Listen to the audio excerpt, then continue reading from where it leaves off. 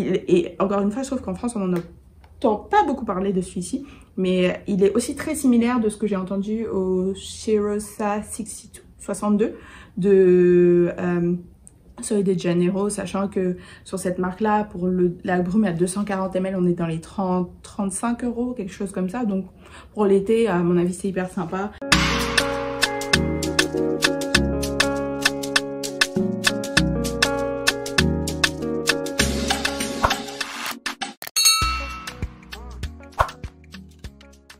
Bonjour à toutes, bienvenue ou re-bienvenue sur ma chaîne, je suis Iman et aujourd'hui on fait une vidéo où on va parler des 5 parfums dont vous avez besoin dans votre collection, des 5 parfums qu'il vous faut pour commencer votre collection de parfums.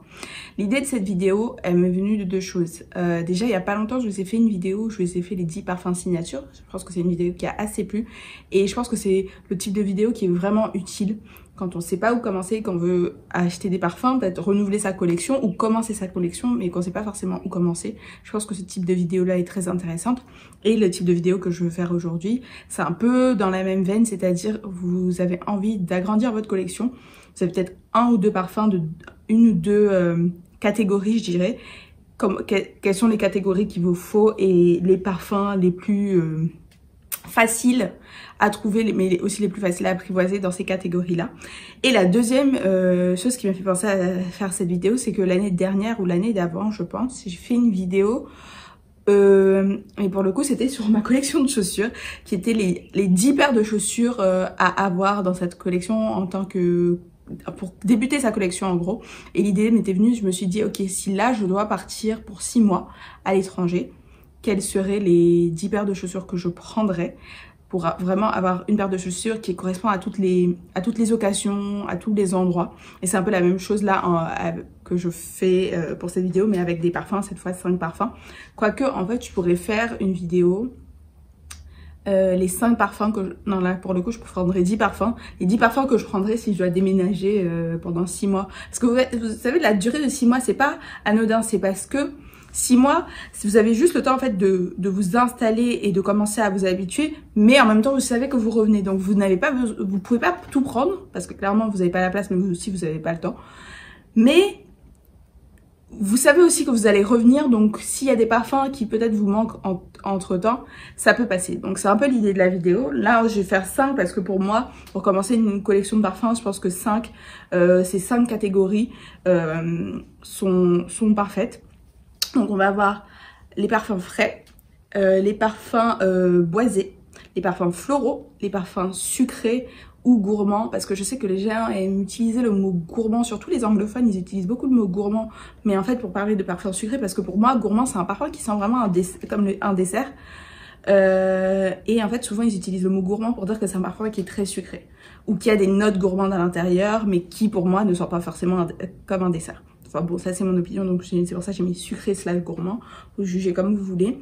Et un parfum vanille, parce que pour moi, un parfum vanille, la vanille c'est ma note préférée, c'est vraiment la base. Et je vous mettrai en, un bonus. Donc on va commencer d'abord, comme d'habitude, le petit rituel. Senteur du jour, aujourd'hui j'ai, alors je sais pas si vous allez voir, Manakara de Indult. Donc c'est un échantillon que je teste en ce moment parce que bah, j'ai une, vidéo à vous faire la semaine prochaine sur tous ces échantillons-là. Euh, et c'est un parfum rose litchi. C'est assez simple comme, je crois qu'il y a vraiment que deux notes dans ce parfum, mais euh, je veux vous dire que je l'apprécie beaucoup. Euh, donc la semaine prochaine, mercredi prochain, soyez connectés, je vais vous parler de celui-là et de quatre autres parfums un peu hypés hein, comme ça en ce moment que j'ai pu tester. mais celui-là déjà, je peux vous dire que une belle surprise parce que justement avec les notes aussi simples je me suis dit ça va pas être très intéressant mais finalement après c'est pas waouh incroyable mais c'est un beau parfum donc mettez-moi en commentaire votre senteur du jour comme d'habitude et on commence la vidéo. Alors donc la première catégorie ce sont les parfums frais. Donc pour moi les parfums frais c'est des parfums qui vont être légers, aériens, des parfums qu'en général, moi personnellement, cette, cette catégorie de parfums, je la mets pour aller au sport ou quand il fait très chaud et j'ai envie de quelque chose de léger qui va pas être trop étouffant. Ou alors euh, parfois pour dormir en fonction de mon humeur. Donc j'ai pour, chaque catégorie, je vais avoir deux parfums comme ça, vous pouvez choisir aussi en fonction de vos goûts parce que c'est pas non plus l'armée. Euh, donc le premier, je pense que si vous me connaissez, vous avez certainement deviné, c'est Musk de Kayali. Pour moi, c'est le plus beau, en tout cas de ceux que j'ai sortis, c'est le plus beau musk euh, féminin. Euh, ce côté, ma peau mais en propre, mais très féminin. C'est-à-dire que j'ai Skin de Clean Reserve qui est très similaire, mais celui-là est beaucoup mieux fait, beaucoup mieux formulé. Il est moins, il a un côté moins synthétique, moins chimique. Euh, il y a pas de note, dans l'autre, il y a une note de cuir. Ici, c'est un peu fleuri, c'est assez rond. Et c'est un parfum que j'aime beaucoup. Et vous voyez que j'ai un 10 ml, mais en fait, comme j'ai l'autre qui est très similaire, j'utilise beaucoup l'autre.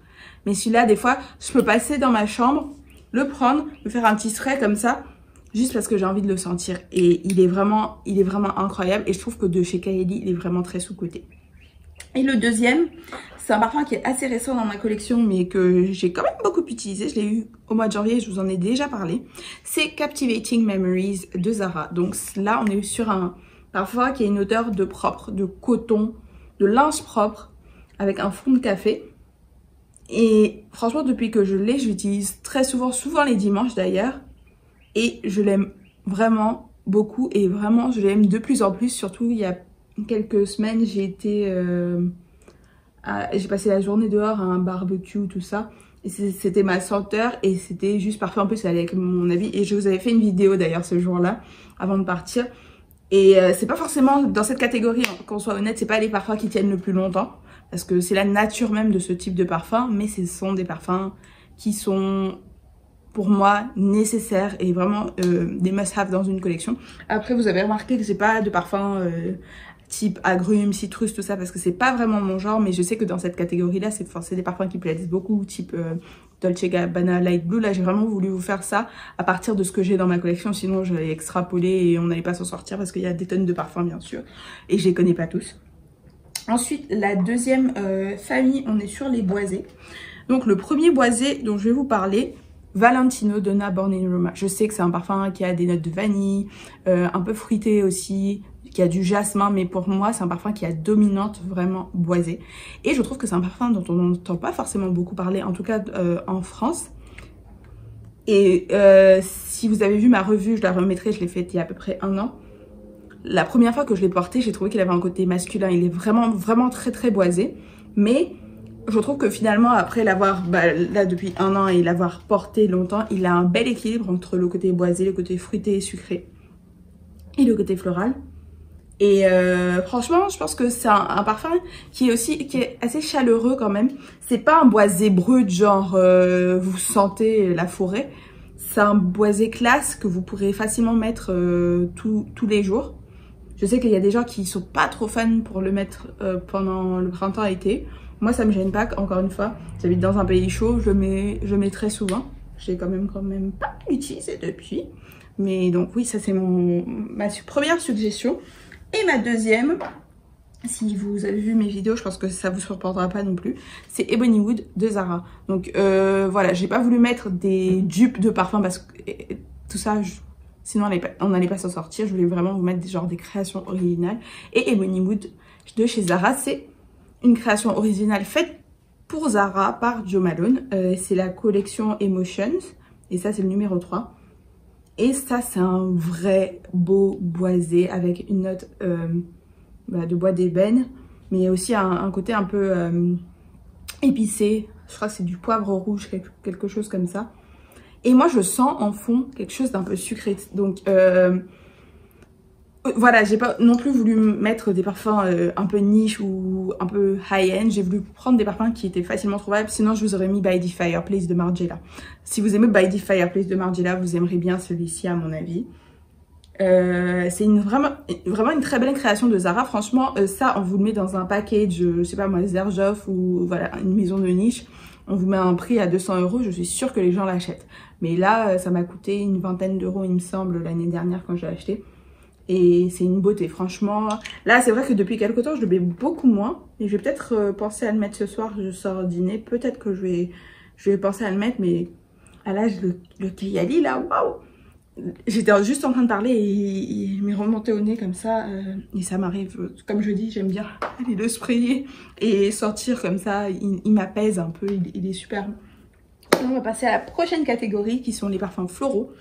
Donc, dans les parfums floraux, euh, bon, après vous allez voir, c'est pas forcément que on ne sent que la fleur parce que c'est pas mon genre. Euh, des parfums hyper floraux, fleurs blanches, mères, tout ça, c'est pas mon truc.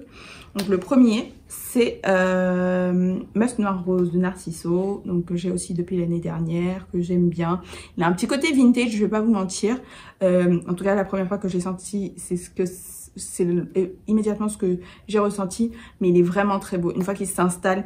Et je trouve que même dans la chaleur là, on sent bien le côté épicé. Je crois que c'est du poivre, il me semble. Là, hein, quand on le sent comme ça à l'ouverture, c'est vraiment ça qu'on sent. Et euh, je disais euh, dans ma dernière vidéo euh, sur les parfums BDK, si vous l'avez pas vu, je vais vous la mettre ici.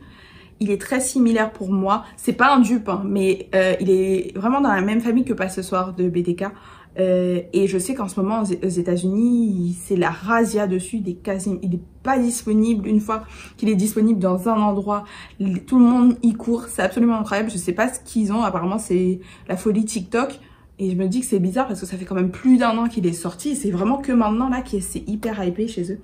Mais euh, c'est un super super parfum. Euh, et c'est tout ce que je peux vous dire. Et il m'a vraiment agréablement surprise, je dirais. Et je pense que de chez Narciso, clairement, je pense que ça doit être leur, best-seller. Euh, je pense qu'en en fait, on en parle beaucoup plus même que le premier qui était Musk Noir.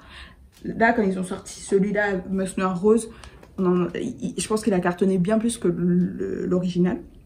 Et le deuxième que je vous conseille, c'est Libre le parfum. Donc là, on est vraiment sur un floral avec euh, de la fleur d'oranger et euh, du jasmin, je crois, il me semble je sais non de la lavande pardon, de la lavande.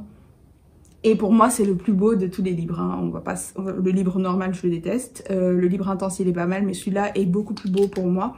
Et ces deux-là, que ce soit celui-là ou Must Rose, je trouve qu'il passe très bien. Il passe bien en journée, en tout cas pour les gens comme moi qui n'ont pas de problème, il passe bien en journée, mais il est superbe en soirée. Il a une tenue incroyable, un siège, une protection incroyable. Euh, moi, sur les vêtements, je, sens facilement 48, voire 72 heures. Et c'est un parfum qui est très facile à trouver, qu'on se mente pas. Et il y a pas longtemps, il y a une d'entre vous qui m'a mis en commentaire que c'était sa senteur du jour et qu'elle avait mis euh, la brume pour les cheveux. Et donc, je disais que je ne savais pas qu'il y avait une brume pour les cheveux. Donc, si vous êtes intéressé, vous pouvez même tester la brume pour les cheveux euh, avant de sauter le pas sur le parfum, même si vous pouvez sentir le parfum et vous procurer des échantillons, à mon avis, assez facilement.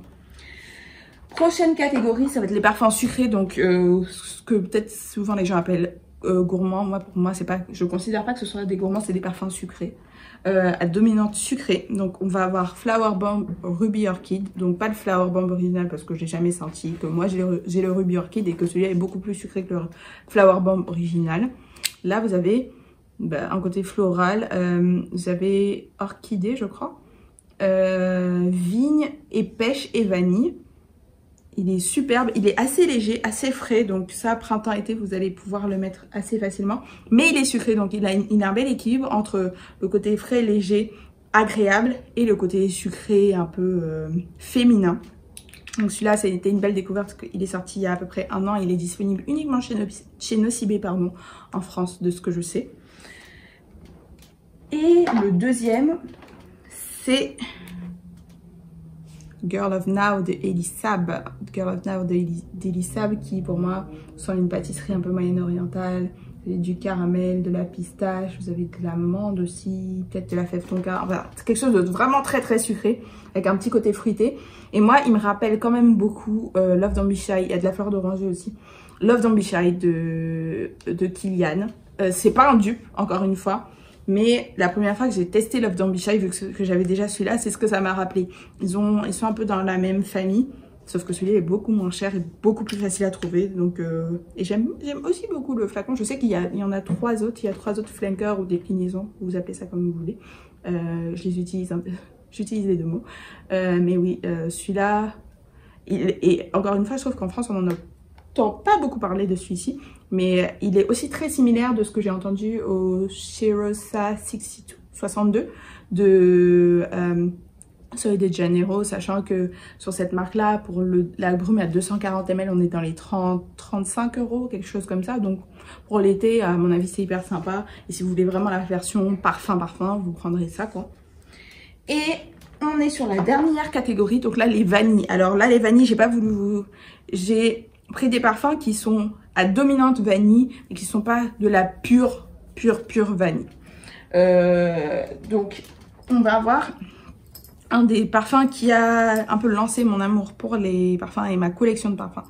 C'est Label de Jean-Paul Gaultier, mais la version le parfum. Même si la version normale est très très belle, moi je préfère la version le parfum. C'est envoûtant, c'est mystérieux, il y a de la vanille, il y a de la poire, c'est sucré.